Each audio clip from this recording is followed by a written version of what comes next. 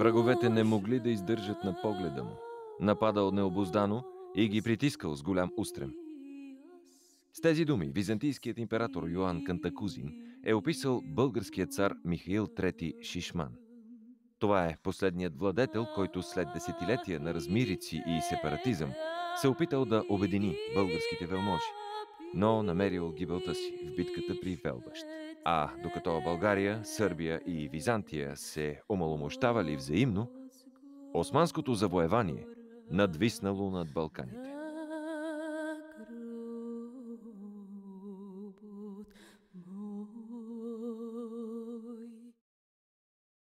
Намираме се на хълма Спасовица, а зад нас е гледката към бойното поле, където на 28 юли 1330 година се е състояла битката между войските на Българското царство и Сръбското кралство.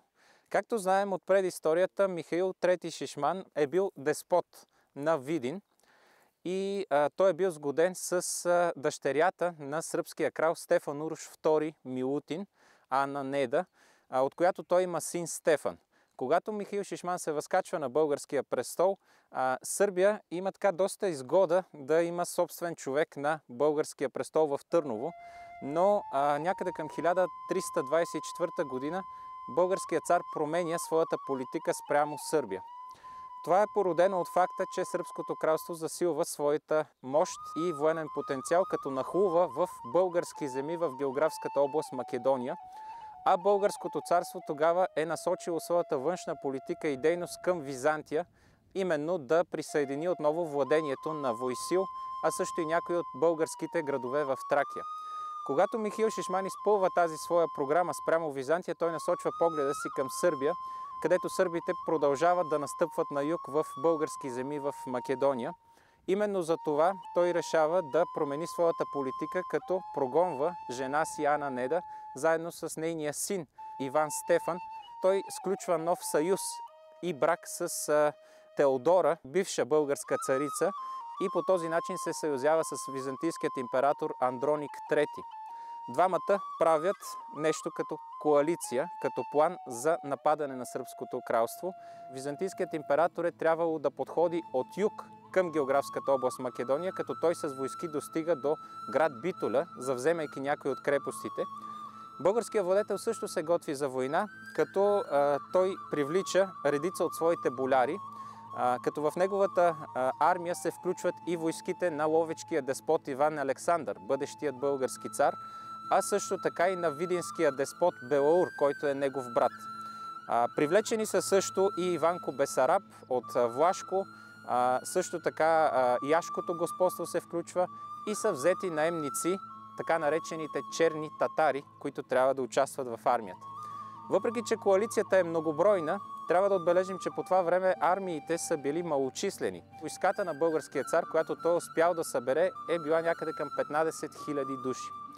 Със същата численост е и войската, която е събрал сръбският крал, някъде около 12-13 хиляди войници. Отделно към това обаче той е поискал и помощта на професионална армия, наемници. Това са били каталани от испански происход.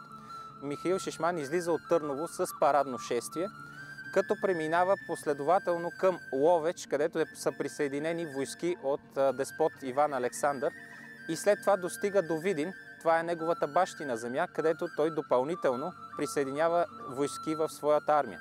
Именно там са прехвърлени и така наречените черни татари, които са преминали Дунава край Видин. Това е забелязано от редица историци, че българският владетел не е искал да пропусне наемниците през Търново да минат през Добруджа, тъй като това криело риск те да опустошат някаква част от българските земи. Цар Михил Шишман се е насочил към Морава, Именно там го чакал сръбският крал, а това е бил един централен удар срещу сръбската държава.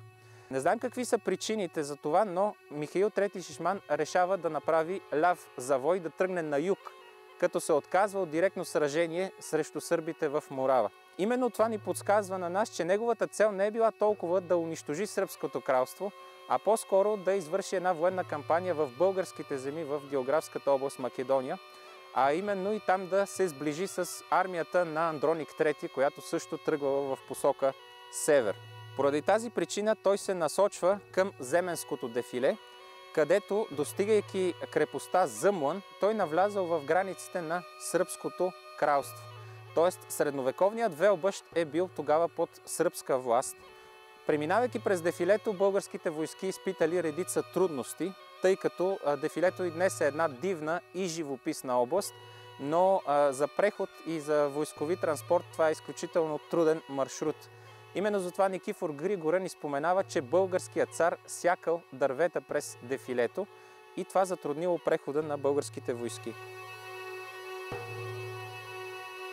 Това е река Бистрица, но според извора Данаило се разбира, че тук е била река Каменча, която той споменава при похода на сръбския крал Стефан Урождечански, именно, че на река Каменча той е установил своя лагер.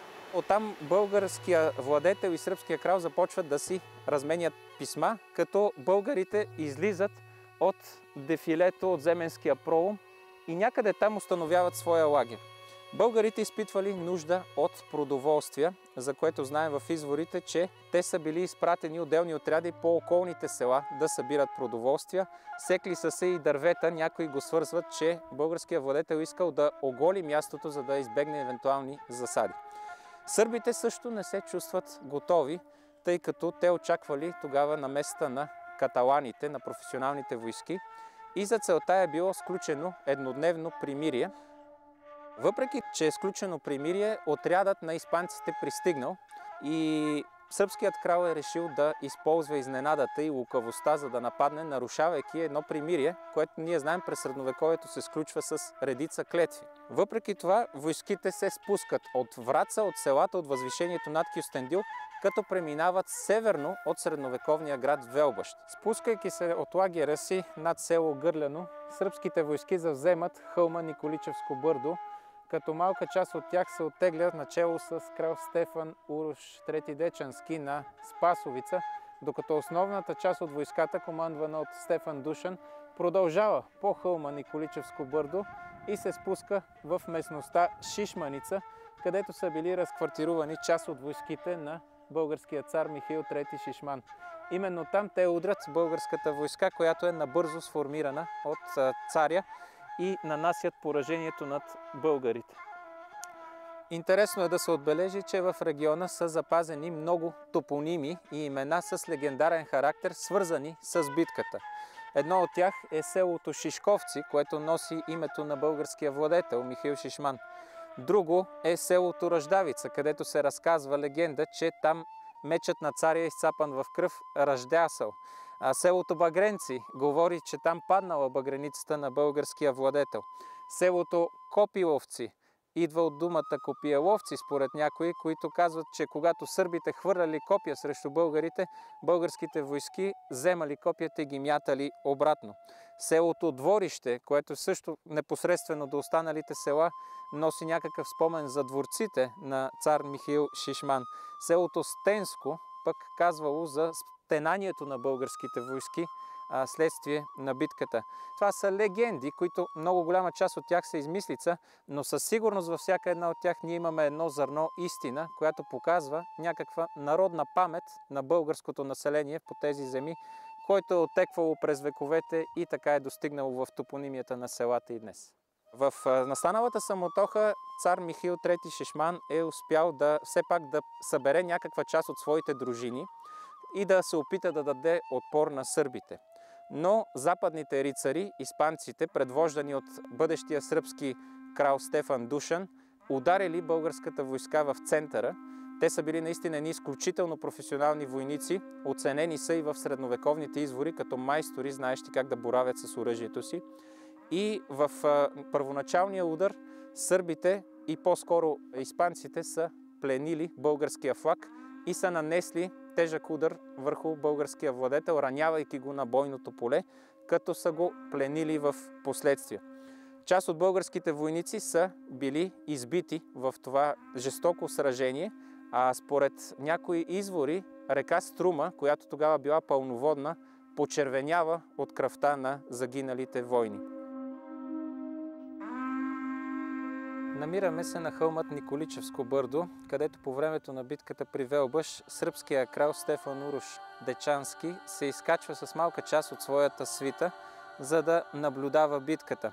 Разбира се, по това време той е бил доста възрастен и бил полусляп, но с неговата свита са коментирали събитията, които са ставали в полето Шишманица. Житината литература представя Стефан Дечански като един нов Моисей, който, както по времето с Исус Навин, той вдигал ръце към небето и се молил за спасение на своята войска.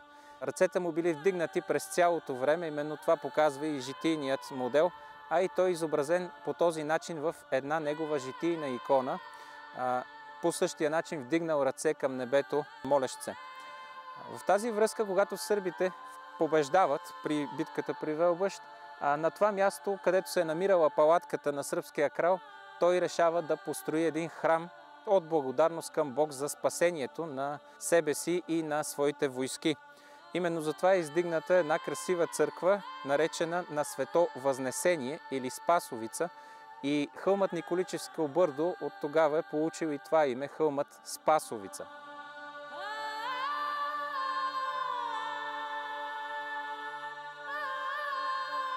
Храмът е заснет, вече намиращ се в руини, но конструктивно здрав от Йордан Захариев, а също така и от Йордан Иванов. Именно в неговата книга Северна Македония Йордан Иванов говори за църквата, като казва, че понякога някои патриоти местни, знаели, че тя е сръбска, се закамвали да я разрушат. И той се надява този паметник да бъде запазен за поколенията, осъзнавайки ценността на храма. За съжаление обаче, по времето на войните 1913 година една българска рота тук решава да заложи зрив в храма и да го детонира, като по този начин е разрушен наистина един любопитен паметник от българо-сръбските отношения за това време.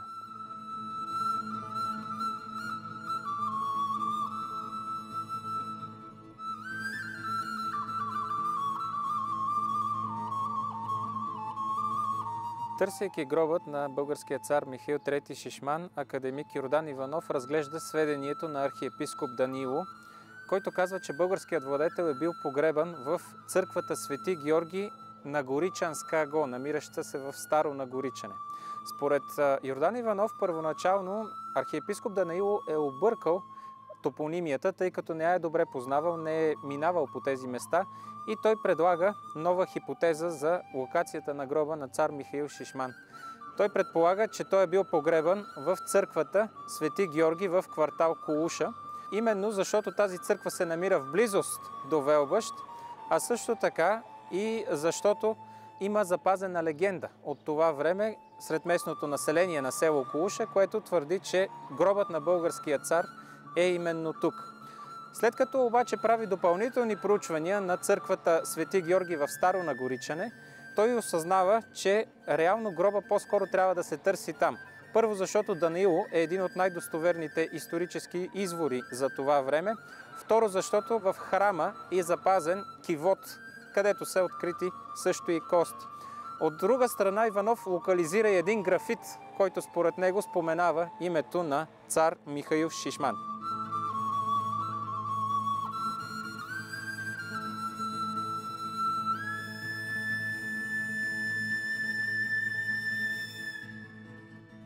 Стефан Дечански не успява да превземе България.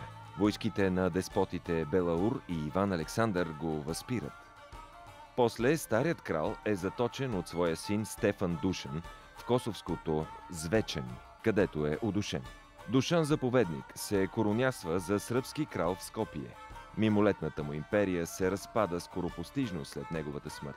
Но България, Сърбия и Византия са до толкова запленени и омаломощени в борбите си, че са покорени от новите нашественици – османците.